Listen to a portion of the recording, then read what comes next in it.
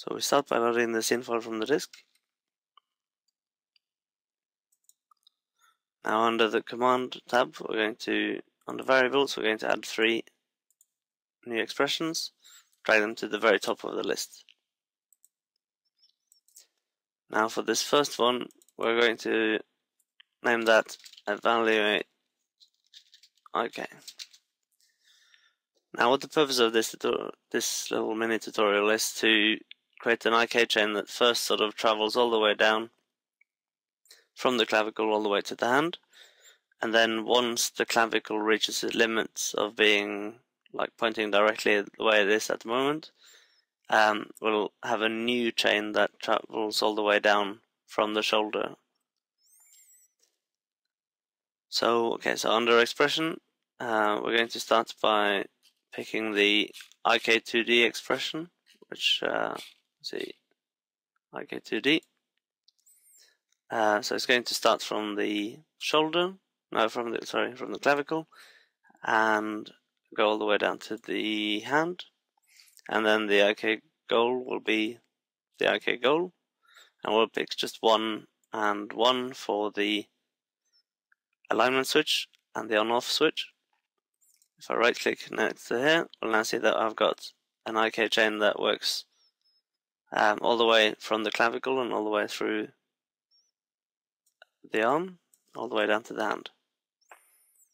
Um, but that wasn't quite what we wanted. We wanted to stop this clavicle from going any further down than it's supposed to. So now we're going to use the same trick that we used in the limiting tip, which is to use the clamp function.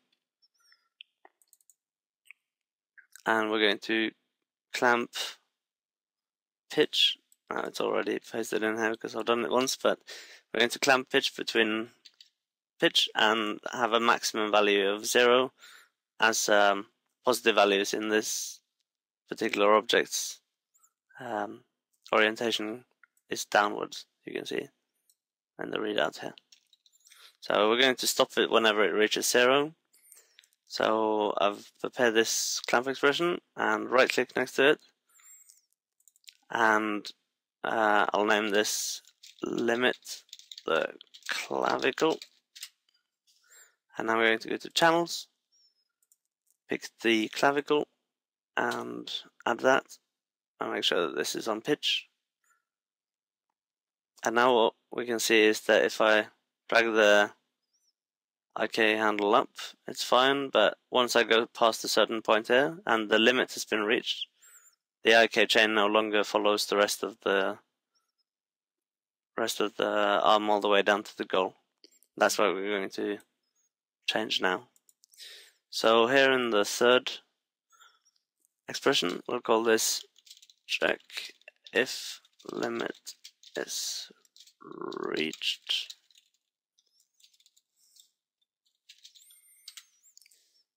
And um, in this expression, we're actually going to have like one expression within this condition. So it'll be like an expression within an expression.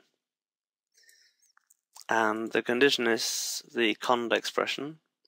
And what we're looking to figure out is whether or not the condition, which is clavicle pitch equals equals zero.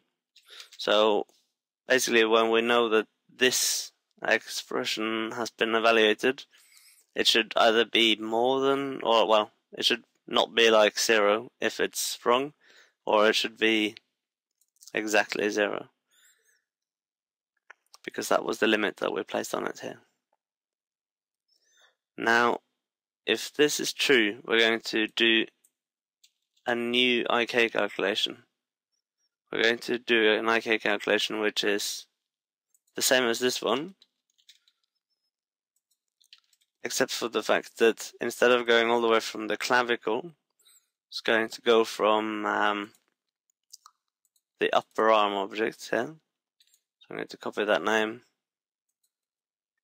and paste it in instead of clavicle. And then if this is false, we'll simply do nothing. So we'll just leave that at zero. Now, if I right click it again here next to the condition, that should pop that expression into this expression here. Um, pop the setup of the expression into the actual expression, and now it's being evaluated. So now when I drag above um, above the clavicle, you can see that the IK is um, is working and it's giving us a kind of auto clavicle effect.